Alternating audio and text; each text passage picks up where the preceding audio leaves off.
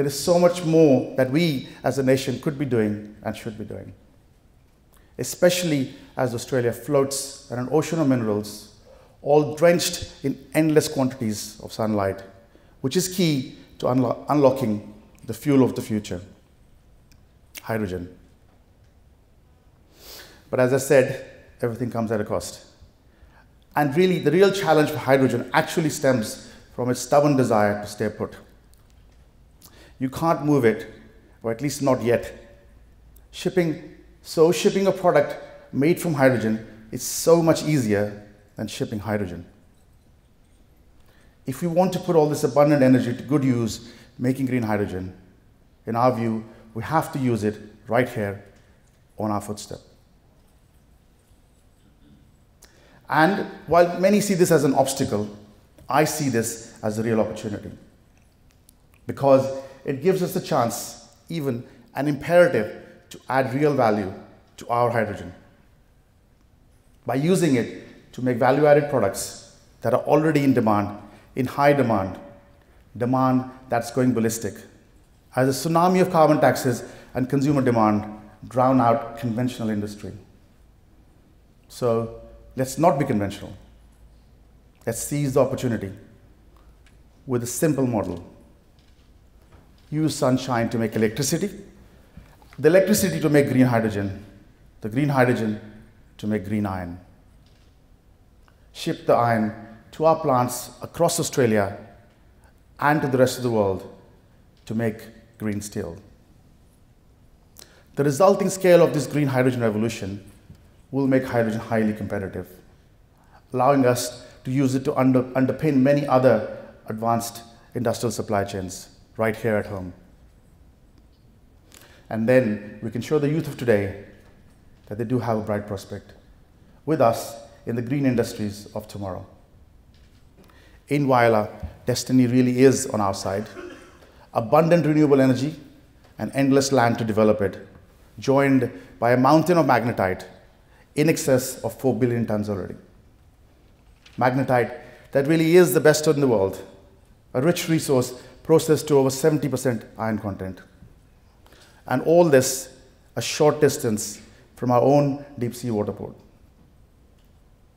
With a brilliant and committed workforce, a supportive community, well developed infrastructure. And it's cheaper to move iron ore than it is to move electrons of electricity or molecules of hydrogen. So we see a future in which global hubs of green iron and green steel production will develop alongside clean energy hubs. Combining Australia's endless clean energy with this vast resource, resource of iron ore makes good sense and makes much, much more sense than trying to export its energy or hydrogen. So for us, it's clear Australia's future has a strong place for green iron combined with electric arc furnaces to make green steel. For Australia, of course, but also for the rest of the world. For us, this is our one best hope, best hope for the immediate future to decarbonize an industry that accounts for so much of global pollution, turning it instead into one of the cleanest on the planet. A brand new iron age, a green iron age made from green hydrogen right here. This could unlock Australia's future to become one of the world's foremost, foremost clean energy hubs, and in, do, and in doing so, turbocharging its economy. And, of course, the amount of energy needed for green iron and green steel production in Australia would, of course, be the same as in Europe. But the difference is that we have all that energy raining down, raining down upon us each and every day. The federal government knows this, hence, the $2 billion Hydrogen Head Start recently announced, designed to help boost green hydrogen production in Australia. Perhaps our little compatriot to the US IRA. The government also understands that hydrogen is essentially landlocked. Generating it must go hand in hand with value-added production of products such as green iron, creating long-term, high-quality jobs, powering our regions, lifting Australia's position in the global economy. But at the same time as Australia adopts these exacting standards under the government's progressive safeguard mechanism, we must also have a level playing field. Imports must meet Australia's new exacting standards for decarbonisation. Not to do so would mean a license to export jobs and import carbon. Europe's CBAM, Carbon Border Adjustment Mechanism, although not perfect, is an example how this could be implemented.